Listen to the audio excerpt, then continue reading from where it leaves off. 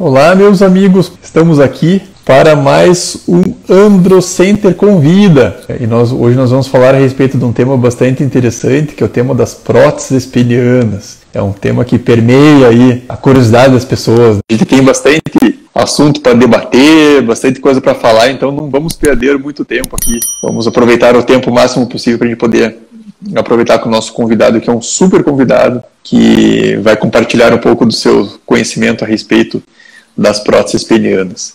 E essa live acho que vai ser bastante legal, mesmo porque nós batemos quase um recorde de perguntas. Muita gente perguntou a respeito, muitas dúvidas surgiram a respeito das próteses penianas. Inclusive, eu acabei diminuindo um pouquinho a, a nossa conversa inicial para poder dar um pouco mais de espaço para o nosso, o nosso é, colega dirimir todas essas dúvidas dos nossos seguidores. Ah, agora sim, Rafa. Boa noite. Tudo bom? Tudo tranquilo? Tudo ótimo, e você? Tudo jóia. Estou ouvindo muito bem, tudo certinho. Então eu estava explicando para as pessoas aqui, Rafa, que, que nós batemos com esse nosso assunto, batemos um recorde de perguntas aí da, que foram encaminhadas pela audiência. A ideia inicial era, era, era mais esse bate-papo entre a gente, como surgiram várias perguntas, eu acabei diminuindo um pouco a nossa conversa, assim, a respeito do papo mais formal, e para a gente poder focar um pouco mais na, na, nas perguntas. Legal. É, eu acho que fica uma coisa mais dinâmica e acaba é, sendo mais legal para todo mundo, né? Então, para as pessoas que estão chegando, ah, para aqueles, aqueles seus seguidores, né, que ainda não conhecem, então, esse é o Andro Center Convida, que é um bate-papo quinzenal que eu faço aqui diretamente de Curitiba, para discutir temas relacionados à medicina sexual e também a parte da infertilidade masculina que é o trabalho que nós, médicos urologistas, andrologistas, desenvolvemos aí na nossa, na nossa, na nossa prática diária. E eu gosto de explicar também, Rafa, para essas pessoas, que essa nossa conversa é uma conversa que ela tem um cunho informativo, exclusivamente informativo, e ela não substitui uma consulta com o médico especialista.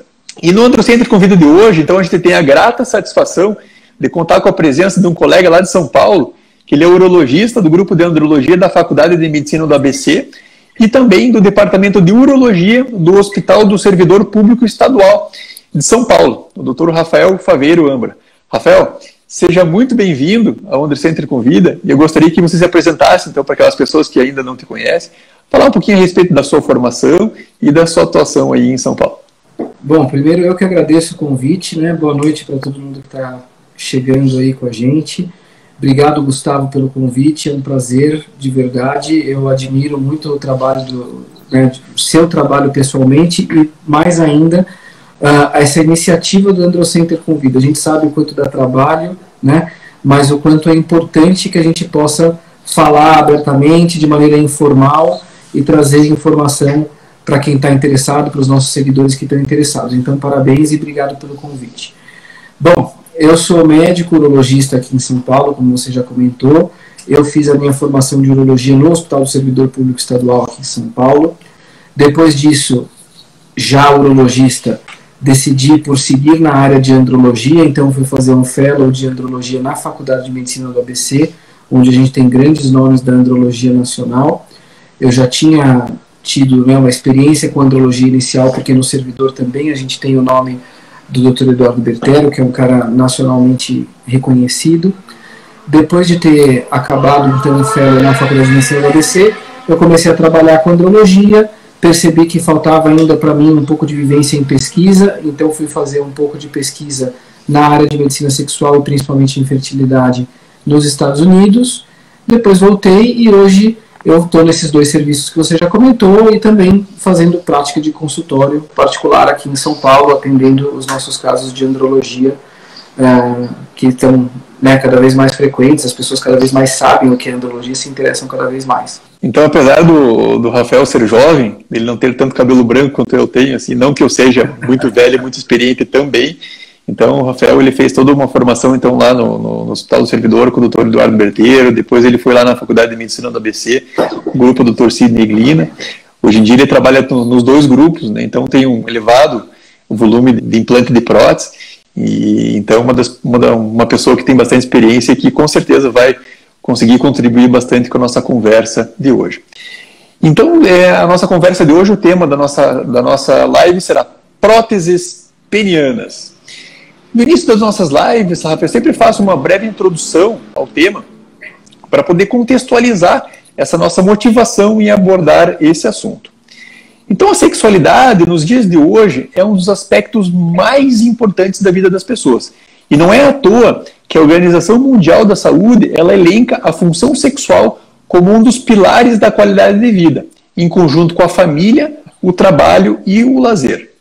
E apesar da atividade sexual não ser obrigatoriamente dependente de uma ereção, os casais, de modo geral, se utilizam de uma relação penetrativa nas suas práticas íntimas para proporcionar prazer tanto para o homem quanto para sua parceria. E com o passar da idade e dependendo das doenças que o homem adquire ao longo da vida, a sua ereção ela sofre um declínio de qualidade. E nesses casos, o implante de uma prótese peniana poderá restaurar de modo, de modo definitivo a ereção e a capacidade penetrativa desse homem. Entretanto, esse tratamento necessita de um procedimento cirúrgico, que apesar de envolver apenas um dia de internamento, tem várias particularidades e vários cuidados envolvidos. O implante que seja feito de modo inadequado poderá, ao invés de trazer alegrias, se tornar um grande pesadelo. Então, para conversar a respeito das próteses penianas, a indicação das próteses, os benefícios e também dos, das potenciais complicações que a gente trouxe aqui no Androcenter Convida de hoje, o Dr. Rafael Amber, para que na próxima hora é, explique para nossa audiência todos os aspectos desse tratamento ainda pouco conhecido da população. Rafael, muitas vezes quando a gente está diante de um paciente né, com disfunção erétil que nos procura, a gente levanta a possibilidade de colocação da prótese peniana num paciente. E os pacientes geralmente ficam bastante avessos a essa ideia, até mesmo por desconhecimento de como que funciona esse tipo de tratamento. Você pode nos explicar do modo sucinto como que a prótese peniana ajuda a restaurar a vida sexual e a ereção desses pacientes com esses problemas? Claro. Bom, a prótese serve, pessoal, para dar uma sustentação para o pênis durante a ereção. Então a gente vai conversar aqui, explicar ao longo dessa live os tipos de prótese, para quem a gente indica a prótese, mas de modo geral é uma cirurgia que está indicada para tratamento da disfunção erétil severa, disfunção erétil importante, na maioria das vezes naquele paciente que já tentou tratamento com medicação oral e não teve bom resultado, ou um paciente que já tentou tratamento com injeção e não se adaptou, não teve bom resultado, ou simplesmente não gostou, ou simplesmente para um paciente que não quer se expor ao tratamento clínico da, da, da disfunção erétil e prefere ir para um tratamento definitivo, um tratamento cirúrgico que resolva a questão de uma vez. Então, é para isso que a prótese se presta. Né? A gente tem, dentro né, do, dos tipos de prótese, a prótese semirrígida, que consiste em dois cilindros maciços que vão ser colocados dentro do pênis, ou a prótese inflável, que também são dois cilindros, mas dessa vez ocos, que vão ser colocados também dentro dos corpos cavernosos. Cada uma funciona de uma maneira um pouco diferente, mas o objetivo final é que esse paciente tenha uma ereção rígida, sustentada, para que ele possa ter uma relação sexual favorável né, e satisfatória, tanto para ele quanto para o parceiro. E uma das preocupações principais dos nossos pacientes, quando estão escolhendo algum tipo de tratamento para o seu problema, é quanto tempo que ele irá conseguir manter a ereção tendo em vista que boa parte dos pacientes tem uma disfunção erétil que eles conseguem penetrar, mas não conseguem manter né, a ereção.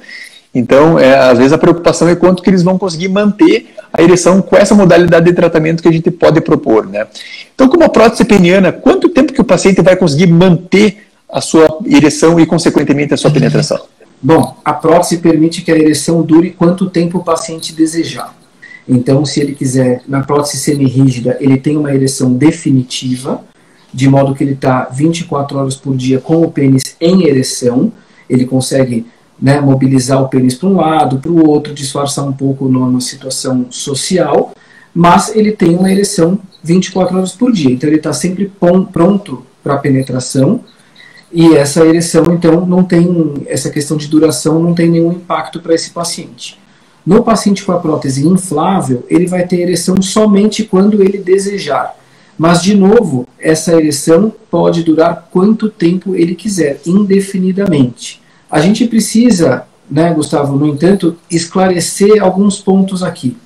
Então, uma coisa é ter ereção, outra coisa é ter vontade de ter penetração, vontade de ter relação. Então, o fato do paciente ter uma ereção constante não quer dizer que ele queira ter relação 100% do tempo. Pelo contrário, né, o desejo sexual vem de muitas questões psicológicas, vem de estímulo do ambiente, de ter uma parceria uh, adequada que cause estímulo naquele paciente, desejo. Então, ter ereção não significa querer ter relação o tempo todo. De modo que não é, é, essa ereção indefinida não significa que ele vai ter relação uh, o tempo todo. Segundo ponto é que a gente tem dentro do processo da relação a ejaculação. Então, o paciente, depois que ele ejacula, no paciente que tem prótese, ele vai continuar com o pênis ereto, ele não vai perder ereção depois da ejaculação, como acontece nos homens que não têm prótese. Porém, a gente sabe que leva um tempo depois da ejaculação para que o homem tenha desejo de ter uma nova relação penetrativa. Os primeiros minutos depois da ejaculação, a gente chama isso de período refratário, eles são um período onde a sensibilidade do pênis ainda está muito aumentada, o toque às vezes pode ser até desconfortável num primeiro momento depois da ejaculação. Então não é porque ele manteve ereção que ele vai continuar tendo penetração indefinidamente depois de ejacular. Depois de ejacular, ele vai passar por esse período refratário, apesar de ter ereção, e depois, se houver estímulo novamente, ele pode voltar a ter penetração num segundo momento novamente. É, e a gente sempre gosta de ressaltar muito que a próstata ela vai restaurar a, a, parte da ereção, que é uma das fases do ciclo de resposta sexual, mas os outros ciclos, do, as outras fases do ciclo, né, que é o desejo, que é o orgasmo, que é a resolução, elas não vão ficar alteradas, né? Então a gente tem que tomar esse cuidado. Então, problemas com relação ao desejo, às vezes distúrbios ejaculatórios, eles não vão conseguir ser resolvidos com a, com a prótese, especialmente distúrbio ejaculatório, a gente falando de uma ejaculação retardada, por exemplo. Então, a prótese, apesar de a gente não usar a prótese para o tratamento da ejaculação precoce, muito provavelmente o paciente colocando uma prótese, ele vai acabar conseguindo manter uma ereção por muito mais tempo que um paciente com ejaculação precoce. Mas a gente deixando bem claro que a gente não usa prótese para tratar a ejaculação precoce, né, Rafa? Essa questão do desejo que se levantou, acho que é importante, eu costumo comentar muito isso com as parceiras ou parceiros de pacientes que estão em processo de colocação de prótese. Porque na, muitas vezes a esposa diz para a gente: Puxa, doutor, mas eu estou um pouco insegura. Meu marido vai colocar uma prótese e eu não vou mais saber se ele tem desejo. Eu não vou mais saber se ele quer de fato ter relação comigo, porque basta acionar a prótese e ele vai ter uma ereção. E eu sempre digo que ter ereção não significa querer namorar mesmo para o paciente com uma prótese semirrígida, se ele não tiver interesse, se ele não tiver sexualmente disponível, disposto para aquela atividade sexual, interessado, excitado, não adianta que ele não pode ter a prótese que ele não vai querer namorar. E é aquele paciente que muitas vezes fica frustrado porque o problema dele na verdade era de desejo, ele achava né, que colocando a prótese isso ia se resolver e não se resolveu, porque o desejo está muito mais na cabeça do que na questão do pênis. Agora, para aquele paciente que quer ter relação, que tem desejo e que tem só uma questão da dificuldade de ereção, aí sim a prótese está muito apropriada, eu diria. E como isso é uma coisa frequente ainda, a, a falta da distinção entre essas duas fases, né, que é o do desejo e da, e da, e da excitação, que é a questão da, da ereção. Eu, eu, não sei com relação à tua experiência, mas eu vejo com alguma com uma relativa frequência pacientes com problema de desejo que vão procurar aí um auxílio e acabam ganhando uma prótese, né? Aí do paciente tem uma prótese e não sabe, não, não consegue ter desejo, ele não consegue conciliar o cérebro dele, ele não consegue conciliar o desejo com, com, a, com a prótese e aí vai dar muito trabalho para o pessoal da psicoterapia, né? Exatamente. E para a gente também, né? Porque eles querem uma solução muitas vezes e na verdade o que faltou foi uma boa conversa lá atrás antes da cirurgia. Bom, a gente veio aqui, mas a gente veio aqui hoje para falar a respeito de prótese. Né? Rafael, existe então, como você já citou, dois principais tipos de próteses penianas, que são as próteses maleáveis e as próteses infláveis. Qual que é a diferença entre elas e qual delas que vai simular melhor uma ereção, entre aspas, natural? Bom, como a gente comentou rapidamente no começo, a prótese semirrígida São dois cilindros de silicone maciços com um material metálico dentro desse cilindro que permite uma rigidez na hora da penetração. Então esse paciente tem ereção o tempo todo. Na prótese inflável já é um dispositivo mais moderno, com a tecnologia mais avançada envolvida, onde a gente tem dois cilindros ocos dentro dos corpos cavernosos, dentro do pênis, e a gente tem um reservatório de soro fisiológico que é colocado dentro do abdômen do paciente, completamente imperceptível, e uma pequena bombinha que é colocada dentro do escroto do paciente, também imperceptível. No momento que o paciente quer namorar, quer ter ereção, ainda que seja uma ereção para se masturbar, por exemplo, mas quando ele quer ter ereção, ele pode acionar a bombinha no escroto, o soro fisiológico vai ser deslocado do reservatório que está dentro do abdômen em direção aos dois cilindros no pênis, os cilindros vão se encher e esse paciente vai ter uma ereção bastante firme, rígida, com um bom calibre, inclusive essa excelente, Gustavo, obrigado. Então essa, esse é um exemplo da prótese inflável. O Gustavo está segurando na mão direita a bombinha que vai no saco. Essa, essa bolinha, essa esfera um pouco maior, é o reservatório que vai ser colocado dentro do abdômen do paciente. E o cilindro que vocês estão vendo aí, esse cilindro mais comprido, é um dos cilindros que vai ser colocado dentro dos corpos cavernosos. No momento que o paciente, exatamente, quando o cilindro está flácido, o paciente está com o pênis flácido, né, com o cilindro vazio, e no momento que ele quer ter ereção, ele vai ativar a bombinha no escroto e com isso ele vai ter uma ereção. Esse é um processo, respondendo a pergunta mais diretamente, essa é a bombinha que está dentro do saco, pessoal, e o paciente vai ter uma ereção bastante próxima do que é uma ereção fisiológica. A gente sempre frisa que não é uma ereção como era 20 anos atrás. Ninguém está voltando no tempo, ninguém está fazendo de conta que aquela disfunção erétil nunca existiu, mas para quem tem uma disfunção erétil e está sofrendo com isso sem poder ter relação, às vezes está afetando o relacionamento, a prótese inflável vai devolver essa ereção de uma maneira muito mais próxima do fisiológico, do que era o natural daquele paciente, porque permite estado de flacidez do pênis e permite estado de ereção, sendo essa ereção uma ereção bastante rígida, bastante satisfatória. E ainda no nosso arsenal de tratamentos para disfunção erétil, então nós temos ainda os comprimidos e as injeções penianas. Existe alguma vantagem da prótese peniana frente aos comprimidos e frente às injeções, Rafa?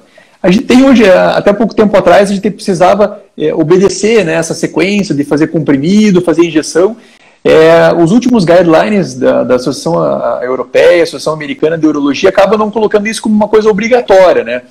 Então, quais são as vantagens das próteses frente a esses tratamentos, entre aspas, menos invasivos, digamos assim? Perfeito. Bom, acho que o que você falou é bem verdade. No Brasil, a gente ainda é muito mais conservador né, e, e muito mais reticente com a indicação cirúrgica fora daqui, especialmente de 2019 para cá, as principais sociedades internacionais já mostraram que você não precisa reservar a prótese só para quem já está no fim da linha, já passou por todos os outros tratamentos. A prótese pode estar indicada desde um primeiro momento, contanto, óbvio, que o paciente entenda o que vai acontecer, como funciona a cirurgia. Uh, respondendo à pergunta, as medicações orais, elas têm alguns inconvenientes. O primeiro são os efeitos colaterais, que não são poucos, né? Então, com frequência, a gente recebe pacientes que se queixam de dor de cabeça, congestão nasal, algum distúrbio uh, de digestão, queimação, gastrite, etc. Então, alguns pacientes até um pouco de tontura. Então, a medicação oral pode ter esse tipo de efeito colateral. Não é todo paciente que vai apresentar efeito colateral. A gente não tem como saber como cada um vai reagir, a gente só vai saber tentando. Mas tem pacientes que toleram muito bem e tem pacientes que toleram muito mal, inclusive doses às vezes bastante baixas e que mesmo assim causam um efeito colateral. Esse é o primeiro ponto. O segundo ponto é que a medicação, a gente tem medicações de uso diário e a gente tem medicações de uso sob demanda. São aquelas que o paciente toma só quando vai namorar. Seja um tipo ou seja o outro, exige alguma disciplina no uso da medicação, especialmente a medicação sob demanda é uma medicação que, assim, eu gosto muito pouco, para ser honesto. Às vezes, óbvio, a gente precisa usar com alguma frequência até, mas é uma medicação que eu acho que gera um desconforto para o paciente, porque exige que a relação seja razoavelmente programada, ele tem que tomar medicação mais ou menos duas, três horas antes da relação. Isso faz com que ele já tenha que programar se vai ter relação ou não. Às vezes, aliás, sempre, não depende só dele, e isso gera, por vezes, um constrangimento do paciente falar: puxa, tomei o remédio e acabou que hoje uh, minha esposa, minha parceira, enfim, não quis ter relação, ou de repente a atitude de buscar relação parte da parceira e ele estava desprevenido sem tomar medicação. Então, essa situação pode gerar algum desconforto. Sem falar que em viagens ou situações de sexo casual em outros lugares que não a própria residência, muitas vezes o paciente tem que levar a medicação consigo. Isso também é, é algo que alguns pacientes reclamam. Com relação às injeções intracavernosas, né, que são a nossa alternativa, a injeção que se dá no próprio pênis para que o paciente tenha ereção, essa opção também gera alguns problemas. Primeiro, o problema primeiro é custo, né, da medicação que se compra na farmácia, acaba que a medicação é um pouco cara para quem vai usar isso com mais frequência. A alternativa seria a medicação manipulada, mas a medicação manipulada tem que ficar na geladeira. Então, se o paciente quer ir para um motel com a parceira, ele tem que levar uma caixinha de isopor com a medicação dentro. Se é um paciente mais jovem que vai sair com alguém, enfim, vai para uma balada, vai para um restaurante, seja lá como for, também essa, esse transporte da medicação acaba ficando um pouco é, restringindo né, a atividade, o hábito sexual desse paciente. Então, essas são situações que são que a gente não enfrenta no caso da prótese. A prótese não tem Claro, passado o período de adaptação da cirurgia, a prótese não tem efeitos colaterais, uma vez que o paciente está adaptado, ele está adaptado. Ele pode ter relação onde e quando ele quiser, da maneira que ele quiser, sem nenhum tipo de preocupação com efeitos colaterais, com um priapismo que pode existir na injeção intracavernosa. E, então, isso permite realmente uma solução definitiva e uh, permite que o paciente tenha o ato sexual dele restaurado da maneira que ele bem entender. Legal, e você conseguiu sintetizar bem as vantagens das próteses frente aos, às outras modalidades de tratamento. Né? Então, à primeira vista, parece ser um tratamento muito mais é, interessante do que os outros. Né? E por que, então a gente acaba não indicando a prótese é, de cara, digamos assim, para todos os pacientes que nos procuram é, com problemas de, de ereção? Olha, eu acho que em parte por desconhecimento, então se a gente partir do ponto de vista uh, populacional dentro da urologia, muitos urologistas ainda não se sentem confortáveis com a cirurgia de implante de prótese, por isso eles não oferecem isso aos seus pacientes e isso faz com que poucos pacientes conheçam essa possibilidade. E com pouca gente conhecendo essa possibilidade, e mais ainda, quem conhece e colocou raramente conta para os seus amigos, para os seus colegas, para os seus familiares, né, isso faz com que a prótese ainda vire, ainda seja um mito, ainda seja motivo de muito desconhecimento e às vezes até de preconceito. Então acho que esse é o primeiro ponto. O segundo ponto é um pouco do nosso receio como cirurgiões responsáveis, eu diria, né, das complicações que uma cirurgia pode ter. Então esse é um procedimento cirúrgico, é uma cirurgia superficial, mas que pode ter complicações muito graves. É raríssimo que isso aconteça, graças a Deus, se não fosse assim a gente não faria, mas pode acontecer. Então o paciente precisa estar muito consciente da possibilidade dessas complicações. A gente também no dia a dia toma uma série de cuidados para que essas complicações sejam minimizadas, mas não deixa de ser um procedimento cirúrgico com riscos. Então, e, e mais do que isso, um procedimento definitivo, né? Uma vez que o paciente tem a prótese, já era, ele só vai ter ereção com prótese. Não adianta depois, ah, me arrependi, quero tirar a prótese e voltar para o meu remédio, essa possibilidade não existe. Então, eu acho que essas são as principais razões pelas quais a gente pensa duas vezes antes de indicar.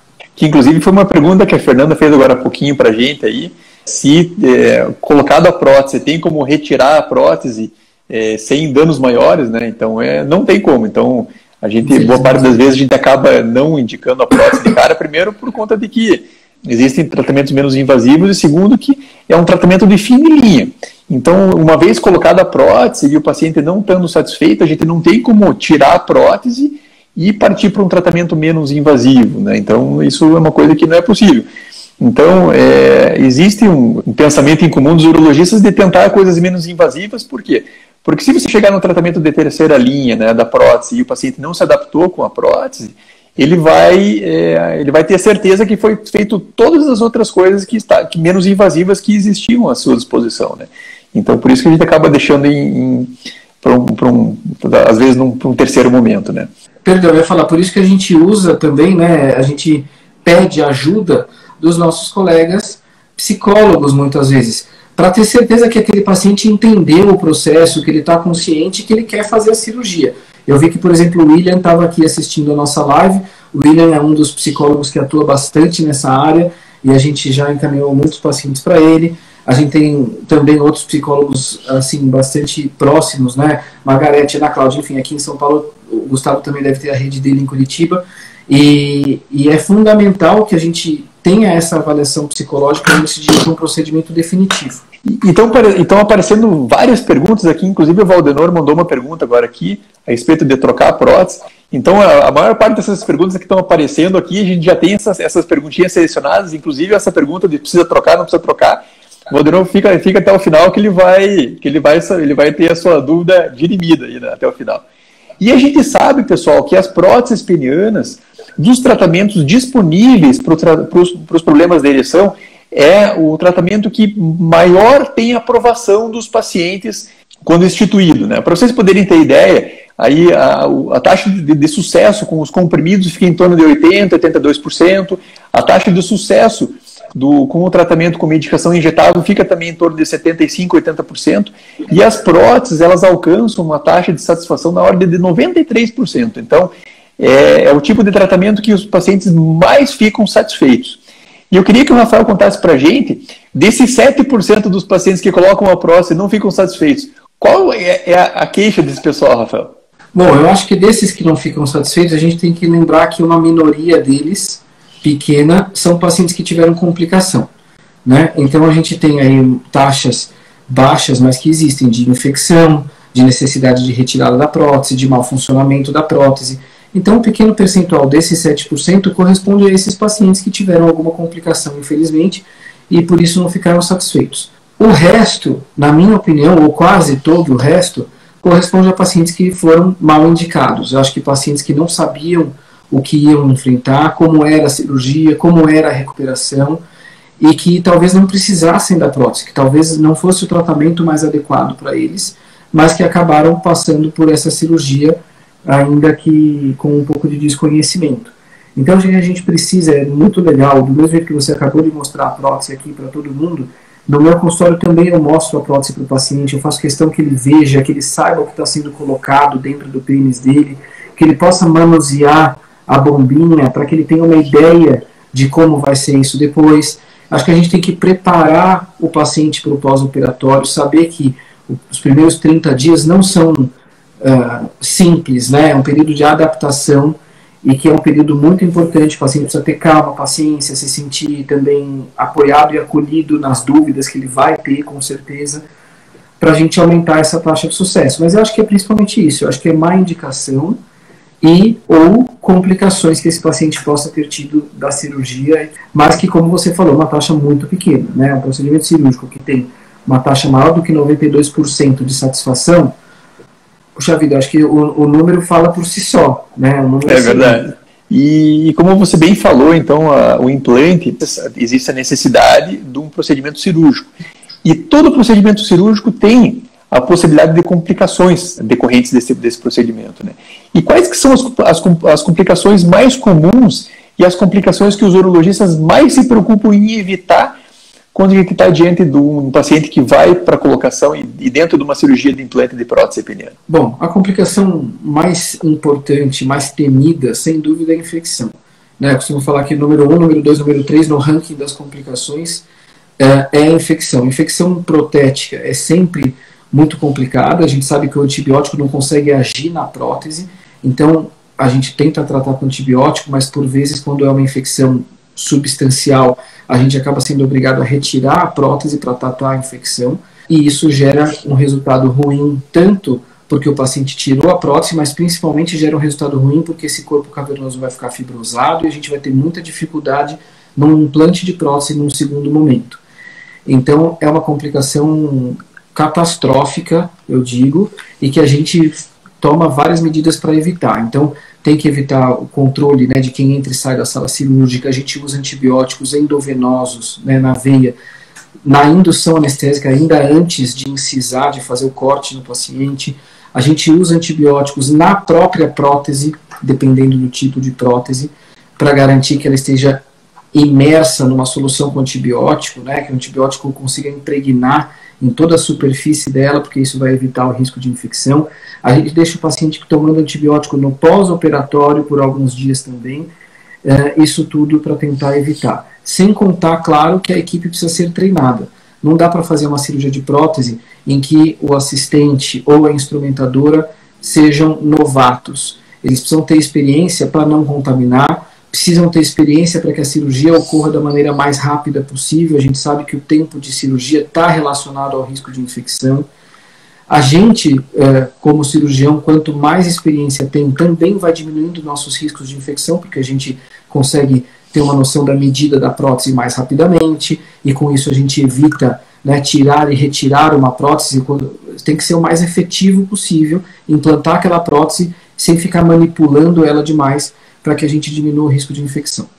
Bom, outras complicações bem menos comuns e bem menos assustadoras são, por exemplo, sangramento, né? então pode ficar com o pênis inchado, o pênis roxo, pode ter um pouco de linfedema, que é quando fica com a pele né, do pênis mais inchada, isso pode demorar algumas semanas para se resolver. É, pode ter algum grau de sangramento na urina, é raro, mas pode acontecer. Nos primeiros dias pode ter algum grau de dificuldade para urinar, também é raro, mas pode acontecer.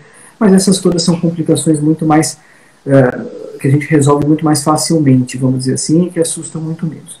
Complicações mais graves e, porém, muito raras são lesão dos corpos cavernosos, né? então perfurar o local onde você está colocando a prótese perfurar ou ter alguma lesão da uretra, do canal por onde passa a urina. Então, isso, graças a Deus, é muito raro, mas existe. A gente já teve casos assim no passado, pode acontecer. O importante é saber tratar. Né? Então, não basta saber colocar a prótese, a gente tem que estar pronto para saber resolver qualquer complicação que exista no intraoperatório. Acho que isso é o mais importante. E você colocou muito bem, então, que a questão da experiência do cirurgião é um ponto crucial também na, na procura de um urologista que vá fazer esse tipo de cirurgia, né? Porque a, a, o implante da prótese vai muito bem quando acontece bem, né? Quando vai muito bem quando acaba bem. Agora, quando você no meio da cirurgia você tem alguma complicação, você tem alguma adversidade, é, esse urologista ele tem que estar é, familiarizado com esse tipo de situação e tem que saber o que fazer na hora também, né, Rafa? Exatamente, tem que saber fazer e fazer rápido, né? Fazer rápido e fazer direito para que seja resolutivo, para que não gere um desdobramento depois, para que esse paciente não tenha que ser reoperado, para que a gente consiga ainda preservar uma boa colocação da prótese, um pênis funcional e a satisfação do paciente, que no fundo é o nosso objetivo principal, né? Então, hoje em dia, na medicina privada, do, do, dos convênios, né, Rafa, a gente vem cada vez mais enfrentando problemas com honorários médicos em alguns procedimentos, né? Sendo que o implante da prótese é um dos procedimentos que pior remunera os cirurgiões. E se, o, e se o cirurgião é mal remunerado, imagina o auxiliar que ganha um terço do, do, do valor do, do, do, cirurgião. Né? Então, desse modo, a maior parte das pessoas que lidam com esse tipo de situação acabam não colocando a prótese por convênio por conta dessa má remuneração. É uma cirurgia que é uma cirurgia complexa, uma cirurgia que depende de muito cuidado é um paciente que vai ser paciente do cirurgião para sempre, né? Então, é, dificilmente alguém vai acabar fazendo isso aí pelo próprio convênio, né? Assim, no, do modo geral, assim, eu acho que muita gente deve estar se perguntando isso aí, quanto que o paciente é, vai precisar é, dispor de valor para é, fazer uma cirurgia do implante peniano, tanto da parte da prótese maleável quanto da prótese inflável. Você tem aí mais ou menos em números aproximados? Sim. Então, Uh, o que você falou é muito verdade, né? A prótese semirrígida, que é aquela que o paciente fica com ereção o tempo todo, ela tem cobertura dos convênios, porém, de fato, a remuneração do convênio para o cirurgião para a equipe cirúrgica como um todo, ela é, vamos dizer, desestimulante. Então, do ponto de vista financeiro, né, se fosse para com um único objetivo, se fosse ganhar dinheiro, realmente ninguém faria implante de prótese pelo convênio. Tem todo esse potencial de complicação, é um paciente que demanda aí pelo menos uma, duas consultas, demanda conversas de pelo menos hora, hora e meia, né, consultas longas, consulta que a gente pede para trazer a parceira e conversa, explica de novo, e mostra a prótese, etc. Então, é muito tempo é, que é dispendido, muito esforço, muita técnica e tempo que a gente levou para ganhar a experiência que a gente tem, e fora o risco de complicação que a gente pode ter. Então, quando você põe tudo isso no papel, realmente a remuneração do convênio ela é desestimulante. Mas o convênio cobre a prótese semirrígida em teoria.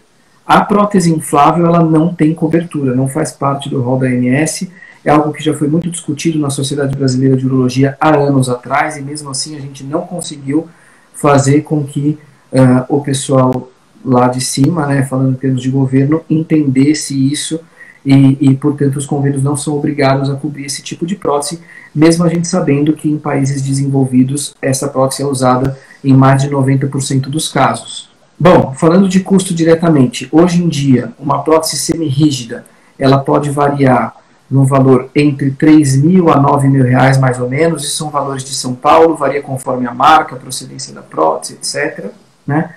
E uma prótese inflável pode variar algo em torno de 70 mil reais. Isso estou falando só o valor da prótese. Como o convênio não cobre o implante da prótese, não é que ele não cobre só a prótese inflável, ele não cobre nada que envolva o implante da prótese inflável. Então, o paciente, além do custo da prótese, ele tem que arcar com o honorário da equipe médica e ele tem que arcar com os valores do hospital. Então, para a colocação de uma prótese inflável, a gente pode estimar que o paciente vai gastar com tudo isso, prótese, honorário médico e hospital, alguma coisa em torno de uns 100 mil reais para fazer um implante de uma prótese inflável. Alguns raríssimos convênios com planos eh, top hoje estão concordando em dar cobertura para uma prótese inflável, mas ainda é muito raro, ainda é bastante difícil. Então a prótese inflável acaba ficando muito restrita, né, para quem pode realmente, para quem tem poder aquisitivo de investir esse dinheiro no tratamento da disfunção erétil. Mas agora a gente vai para a parte principal aí das perguntas. Então, como prometido no começo, nós eh, abreviamos um pouco essa fase inicial da nossa live que a gente geralmente faz e eu selecionei muito mais do que três perguntas aqui para a gente poder responder as dúvidas da nossa audiência. E a primeira dúvida, Rafa, é, doutor, prótese melhora a vontade de sexo ou altera o prazer? Zero. Então não melhora em nada a vontade, né? Como a gente comentou mais cedo, a vontade está muito mais relacionada a questões psicológicas, a parceria, o ambiente, a ideação, né? De, de ter desejo, ideias, fantasias sexuais, muito mais do que propriamente a ereção. A ereção é um processo muito mecânico e com a prótese se torna ainda mais mecânico. Então ela resolve o problema da ereção, ela não resolve de maneira nenhuma falta de desejo, falta de libido, problemas de relacionamento, nada disso. É, justamente. Existem aqueles casos onde o paciente tem um libido diminuído, ou então acaba tendo menos estimulado a ter um relacionamento ou procurar um relacionamento por conta da, da, da má ereção. Então, por exemplo, se o paciente tem uma, uma má qualidade de ereção e isso leva a um, uma diminuição do estímulo, da, da, da, vontade de procurar o sexo, aí sim talvez a prótese ela ajude. Mas aquele paciente que tem pura e simplesmente o problema começou com uma diminuição de libido, esse paciente vai colocar a prótese e vai arranjar um problema maior para ele depois, né? Exatamente. E esse paciente, quando a gente está na dúvida do que veio primeiro, né? Veio primeiro a falta de desejo ou o problema principal é a falta de ereção? Esse é um paciente que se beneficia de tratamento clínico para a gente fazer um teste antes de mais nada e ver se corrigindo a ereção ele recupera o desejo sexual, né, recupera a, a, estabilidade sexual do relacionamento, a libido, e se funcionar, se deu certo, e aí sim, no segundo momento quer colocar a prótese, ótimo, está indicado. Vamos para a nossa segunda pergunta, Rafa. Com, que, é, com até que idade o homem pode colocar uma prótese peniana? Tem alguma limitação de idade para a gente fazer o implante? Não tem limitação de idade, é, do ponto de vista né, de idade máxima. Idade mínima também não tem limitação, mas é claro que a gente evita fazer uma cirurgia que é definitiva num paciente muito jovem. a não ser que sejam casos muito específicos, pacientes que passaram por algum tipo de cirurgia, que ficaram com a disfunção erétil como sequela, pacientes que tiveram, enfim, outras situações, talvez de um trauma peniano, por exemplo, que ficaram com isso como sequela, ou um priapismo muito longo. Então, situações uh, clínicas que realmente configurem uma disfunção erétil definitiva. Aquele paciente não tem outra maneira de recuperar a sua ereção. Nesse caso, a gente colocaria uma prótese num paciente mais jovem. Caso contrário, a gente reserva isso para pacientes já de meia idade para frente e não tem limite máximo, contanto que o paciente tenha uma, uma disposição, uma capacidade funcional boa, que ele possa namorar e queira e tenha parceria para isso, está resolvido. Né? Então a gente já colocou aqui prótese, claro que não é toda hora, mas já tivemos pacientes octogenários colocando prótese e ficando muito satisfeito e, e, as parceiras também muito felizes né, com essa recuperação. E cada dia mais é, a população vem ganhando longevidade, e não só longevidade, mas qualidade de vida nessa longevidade. Né? Então, naqueles pacientes lá com 80 anos de idade, que tem uma qualidade de vida boa e que tem a sua, a sua qualidade de, da, da sua função erétil comprometida, sem dúvida nenhuma o implante peniano vai ajudar bastante na qualidade de vida desse paciente e da, das parceiras também. Perfeito, é isso mesmo, qualidade de vida, falou tudo. Terceira pergunta, Rafa. A cirurgia de colocação de prótese, ela é complicada? Precisa quantos dias de internamento? Tem muita dor depois da cirurgia? Uma pergunta mais do aspecto prático, assim, o paciente decidiu que vai colocar a prótese, não sabe você vai colocar, porque escutou que a cirurgia é uma cirurgia complicada, ele quer saber quantos dias que ele vai ficar internado e se ele vai sentir dor no pós-operatório. O que, que você fala para ele?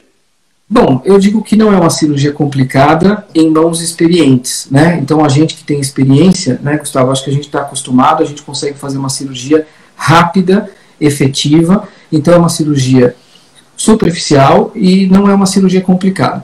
O paciente pode ter alta no mesmo dia, em quase 100% dos casos.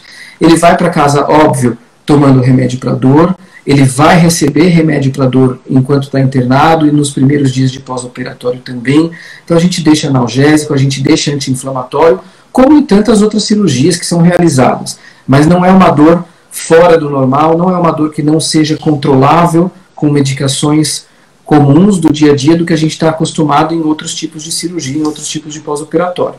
Então, dá para fazer tranquilamente. Acho que a questão principal não é dor, a questão principal é sempre a adaptação do paciente à prótese.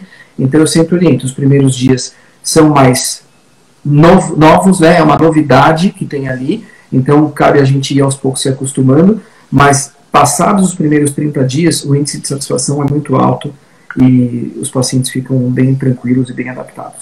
E você sabe que a gente aqui dentro do, dentro do Instagram, é, o principal público é o público feminino, né? Então é, veio uma pergunta interessante aqui, doutor, coloquei uma prótese de mama e já precisei trocar. Meu marido está pensando numa prótese de pênis. Com o tempo, precisa trocar também? Muito boa. Obrigado pela pergunta para quem mandou. uh, bom, a prótese semirrígida ela tem uma durabilidade maior. Ela só vai precisar ser trocada se ela eventualmente tiver uma mudança de posição, o que é muito raro de acontecer, ou se ela quebrar, se ela fraturar, aquela haste metálica que fica dentro da prótese pode eventualmente quebrar. Também é uma situação rara de acontecer. Quando acontece, acontece depois de muitos anos e também varia com a, o hábito sexual daquele paciente, né, o tanto que ele usa a prótese, vamos dizer assim.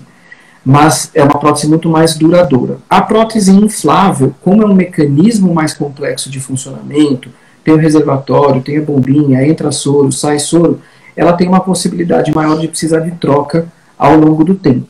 Não é algo frequente, mas principalmente depois de 10 anos de colocada essa prótese, em alguns casos a gente pode precisar trocar. Também varia muito de acordo com o hábito e com o nível de utilização da prótese desse paciente.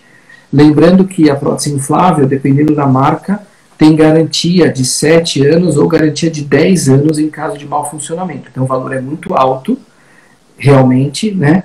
Mas é uma prótese, é um dispositivo que tem uma garantia muito longa. Eu costumo falar, puxa, a garantia é mais longa que a garantia de um carro, né? E então as, as empresas garantem.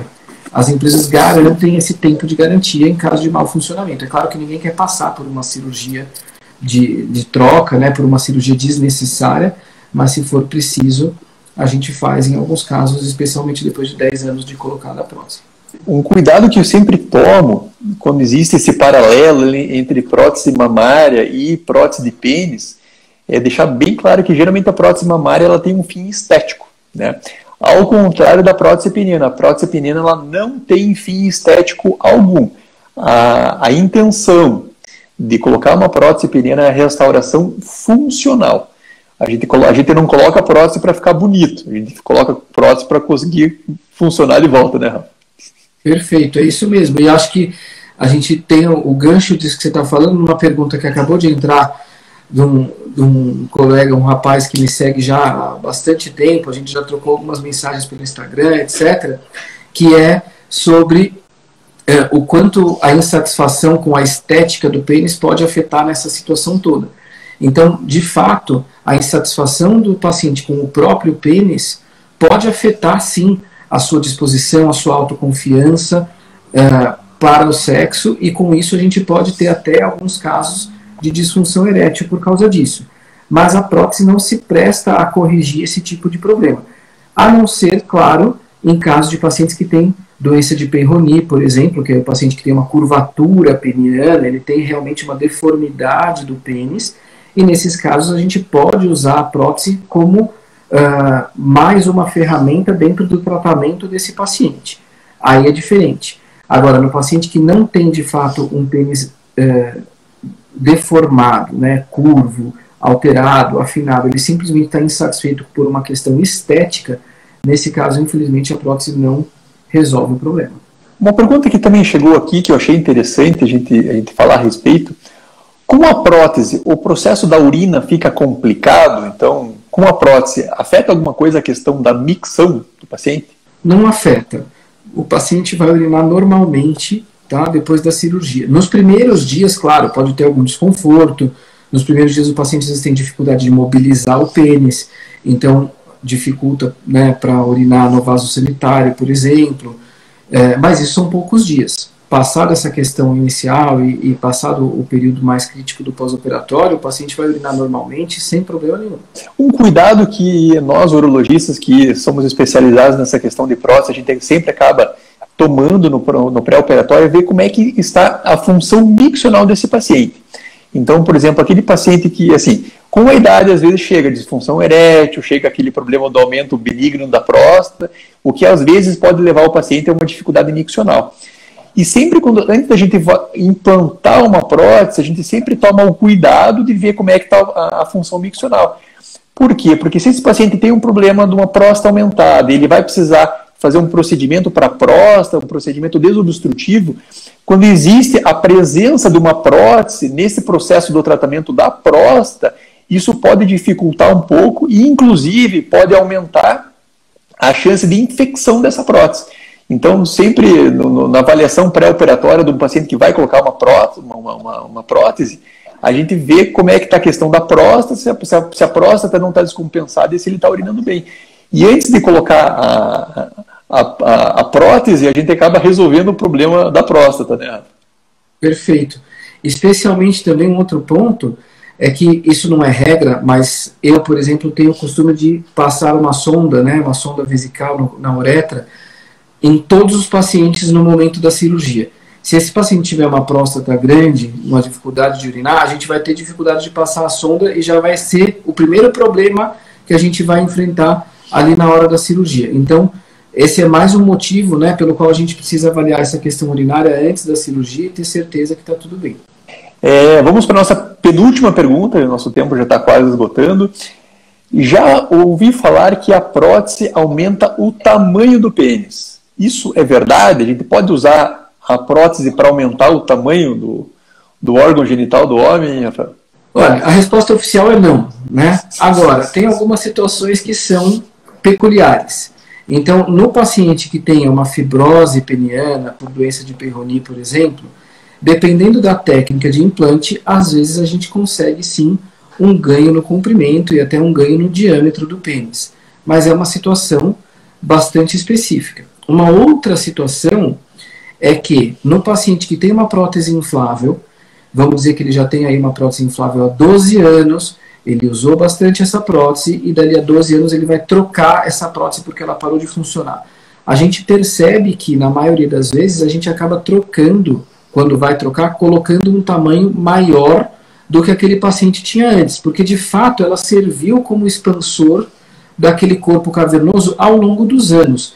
Mas isso não quer dizer que o paciente tenha ficado com um comprimento externo do pênis de fato maior ou significativamente maior. Então, até pode acontecer em alguns casos, mas a gente não deve nunca indicar a cirurgia de prótese peniana com esse objetivo de aumentar o pênis. Quando acontece, é, é, em situação muito específica e é, a gente considera, eu falo que é um bônus. Se der certo, muito bem, mas não dá para a gente contar com isso. E a última pergunta aqui, eu selecionei uma pergunta engraçada. Na praia, tem como ver se o homem tem prótese peniana ou não? Essa é boa, né? Bom, se for uma prótese peniana semi-rígida e se ele estiver usando uma sunga típica, muito assim. provavelmente vai ser perceptível. Então você vai ver lá um homem que tem uma ereção bastante rígida e isso vai ficar aparente. Então eu falo para os pacientes quando vai colocar uma prótese semi-rígida, eu sempre falo, olha, uma das situações que tem que tomar né, algum cuidado é na praia, por exemplo, coloca uma sunga e um short por cima, por exemplo, a não ser que queira chamar atenção de propósito, esse não Pode também, vai fazer Mas, sucesso na praia. Contrário, uh, vai ser perceptível. Se colocar um short por cima, não, vai ficar imperceptível. E se for uma prótese inflável, também vai ficar absolutamente imperceptível. Legal, já foi quase uma hora de conversa.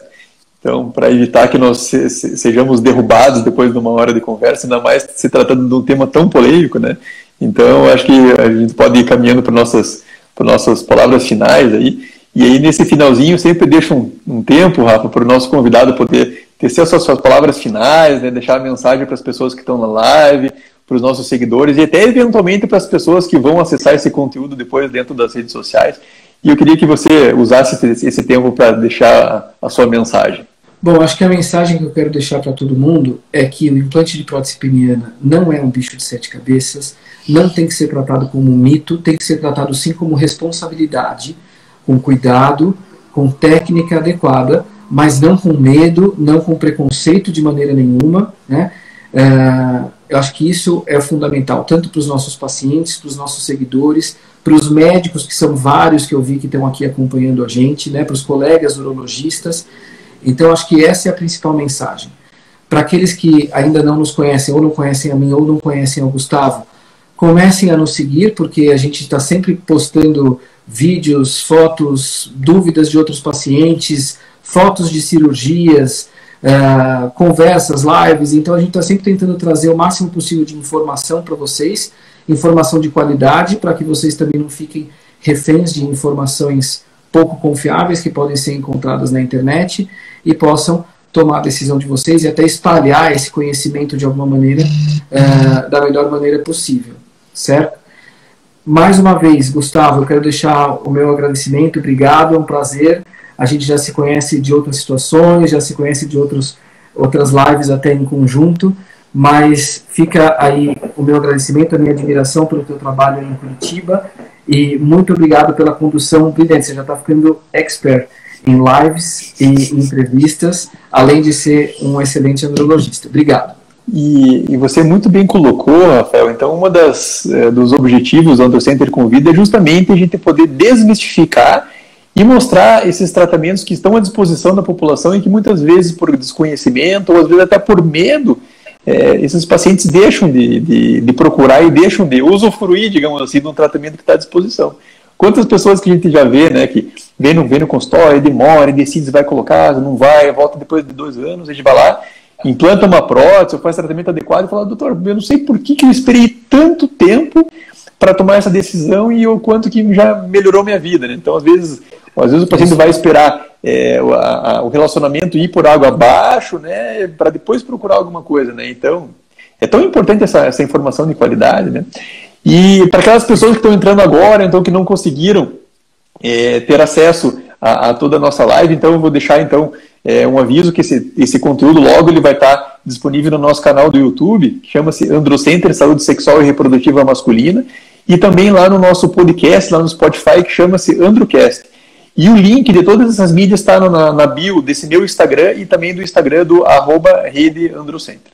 Eu acho que o Rafa vai querer complementar alguma coisinha que eu acabei interrompendo ele, desculpa. Não, imagina. Eu acho que você falou perfeito. Eu já tive pacientes que falaram, doutor, eu estou há mais de 10 anos querendo fazer essa cirurgia e não achava informação confiável, não achava um médico que fizesse, que tivesse experiência. Então, para a gente, como médico, às vezes a gente acha que os pacientes já estão cheios de informação, mas na verdade a informação acho que é sempre bem-vinda, a gente tem que continuar esse trabalho de divulgação e de educação acima de tudo. É. Inclusive naquele, naquele estudo da, da, vida sexual do brasileiro, né, que a doutora Carmita é, publicou, acho que em 2004, 2005, ela colocou que, o, que os homens demoram em média três anos para buscar tratamento para os seus problemas de ereção. Olha quanto tempo de sofrimento, né? Podia ter resolvido numa, numa, numa, numa medicação, numa injeção, num, num implante de uma prótese. Né? Então não tem por que ficar Exato. perdendo tanto tempo, né? E, esperando que as coisas vão melhorar e, e que não melhoram, né? Enfim, e o nosso próximo encontro dentro do Androcenter Convida vai ser daqui a duas semanas, vai ser no dia 7 de junho, e a gente vai contar com a presença da médica ginecologista, a doutora Carolina Nakano, e nós vamos abordar o tema função sexual masculina e a sexualidade da mulher. Vai ser um tema tão importante, tão importante e tão interessante quanto, quanto esse nosso de hoje. Para os homens, inclusive, para todos. É, recomendo que todos os homens vejam essa live. Pessoal, obrigado pela presença de todos, uma boa semana, Rafa, mais uma vez obrigado, obrigado pela Obrigado a você. E eu tenho certeza que, que esse nosso conteúdo de, outro vai, de hoje vai ajudar muita gente. Um abraço, pessoal. Boa semana. Até. Boa noite. Tchau, tchau.